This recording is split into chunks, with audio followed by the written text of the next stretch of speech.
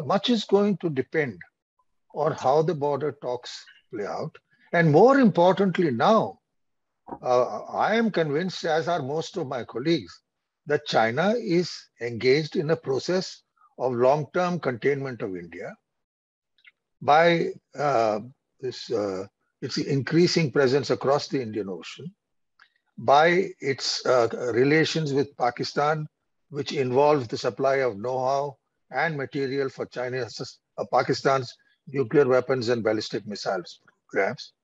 Uh, the fact that they're uh, uh, doing likewise in complicating relations with our other neighbors like Sri Lanka, Maldives, and Bangladesh.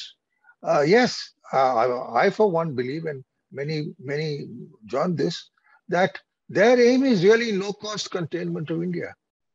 And uh, they've, uh, they've found something which must have surprised them, which we not normally do, was the Quad. And I think hats off to Mr. Modi on what he's, do, what he's done in that respect.